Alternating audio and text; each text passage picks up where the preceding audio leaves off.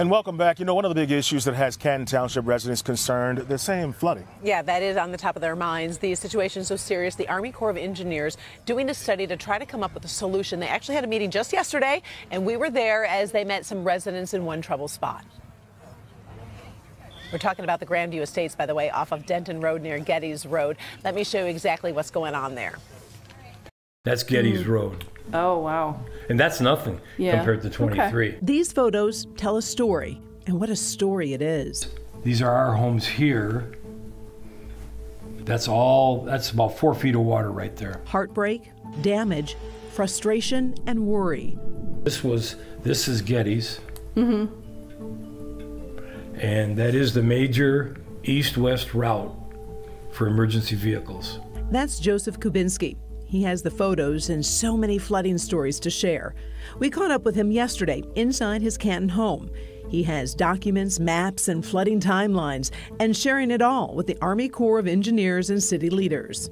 It's pretty frequent, and it's ugly, mm-hmm. and it's, and I'll be very honest with you, not what we paid for.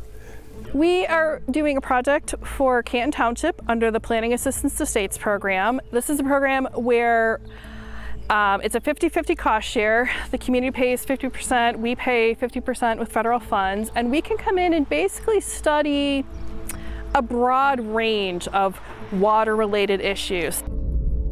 That's Katherine Labuhn, a senior hydraulic engineer, helping to find a solution to the flooding issues in Canton Township.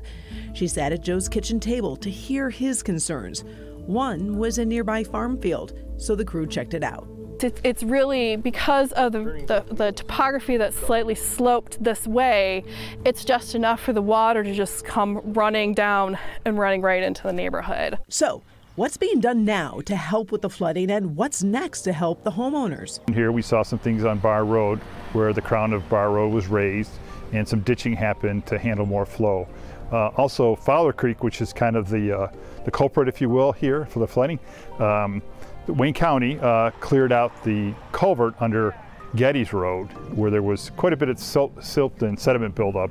On a bigger scale, the township is working with HOAs. There's over 250 of them. The vast majority of them have stormwater ponds to make sure all those ponds are functioning appropriately in the way they are designed. As for Joe, he appreciates the meeting, the time, and now is hoping for some results. For me, it doesn't matter what you do.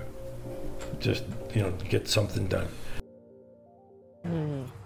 And of course, we'll let you know what comes out of that Army Corps of Engineers study.